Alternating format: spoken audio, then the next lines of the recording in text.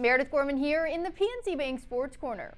There was a lot of ways to break a thumb, but this is quite an interesting way. Cleveland manager Terry Francona saying Tuesday that the team has placed starting pitcher Zach Plesac on the injured list because of a non-displaced fracture of his right thumb. Now, as for how he did it, well, the 26-year-old apparently suffered the injury while aggressively ripping off his shirt and getting his thumb stuck on a chair in the locker room on Sunday. PNC Bank helping to make banking easier.